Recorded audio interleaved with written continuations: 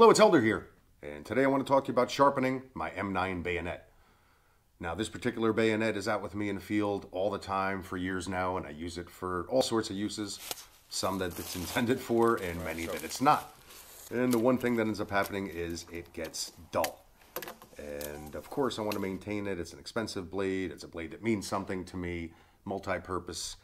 And uh, I don't want to waste a lot of the metal on it. And a lot of the standard sharpeners that are available on the market that are, let's say, inexpensive, tend to take off a lot of metal. And uh, that's not something that I wanted to do. So I always hesitated when it came to sharpening it. Uh, as far as the bayonet, I would use a whetstone, put somewhat of an edge on it, and just say, okay, well, that's good to go. And uh, a while back, I had reviewed this Wicked Edge sharpening system, It's put an amazing edge on uh, many of my blades. But unfortunately, when it came to thicker blades, like quarter inch blades like this bayonet, the setup that the Wicked Edge came with, my initial one, uh, basically wasn't handling anything that was a quarter inch.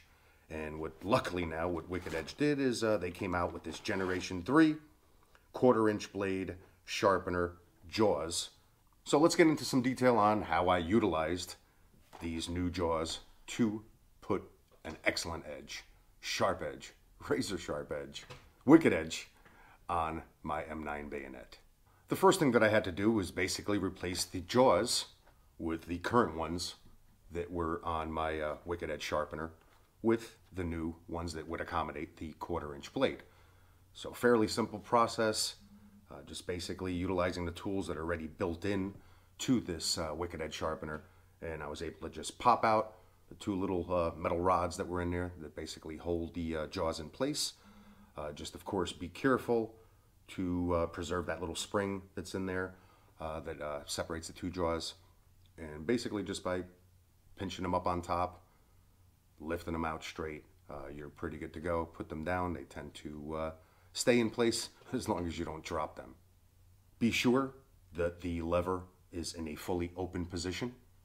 Now the newer jaws will come with the spring basically separated, but you'll see that there's two grooves on the inside of the jaws. Just be sure to line, uh, line up your spring in there, clip it in. You'll actually hear it clip on one side. And then basically I did the same exact thing with the other side, sand sandwiched them together and made sure that I heard that little click also so that the uh, spring actually stays affixed to both sides of the jaw. Now, once I had my jaws in place, the new jaws to handle the bayonet, it was basically business as usual. The uh, Wicked Edge sharpener operated exactly the same as far as with my bayonet to make sure I was finding the right angle. I uh, put a little uh, edge on it with my marker, with my Sharpie, so that I made sure I was able to get the right degree and it's something that uh, I go over in a lot more detail in my uh, initial Wicked Edge Sharpener review, so make sure you look for that on my uh, CoachHelder.com website if you want to find more specific detail and more of a tutorial on utilizing the Wicked Edge sharpening system. For the purposes of what I'm talking about today, I'm just going over this, these new jaws and of course getting an edge on my uh, bayonet. So I basically went ahead, started with the 400 grit and worked my way up with a few passes and uh, ended up going uh, to the 2200 grit. But uh, to be honest with you, I could have uh, pretty much stopped at 1200 for my purposes uh, for when I'm utilizing this blade for. But since I had the extra time and knew that I was going to be making this video for you, I uh, went ahead and got it even sharper. Now, once I was done with approximately 10, maybe 15 minutes worth of work, as far as using the uh, stones to sharpen the bayonet. I uh, could tell right away from the smoothness and the way that the uh, the actual stones were moving that I had a pretty good edge on there. A lot of this comes with feel. Now that I have some practice over the last year of use, utilizing the system, you get a lot more familiar with it. You get a lot more comfortable with it. And with that comfort and experience comes more know-how, right? That's how we all learn. Uh, so I knew it was uh, feeling pretty good. And then once again, just grabbed a piece of paper, little post-it note, went over it just for uh, proof of work, so to speak.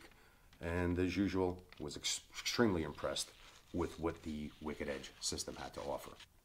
So bottom line, if you're in the market for something to, try, uh, to sharpen your bayonets and thicker blades, quarter inch type blades, definitely take a look at these uh, new jaws uh, from uh, Wicked Edge.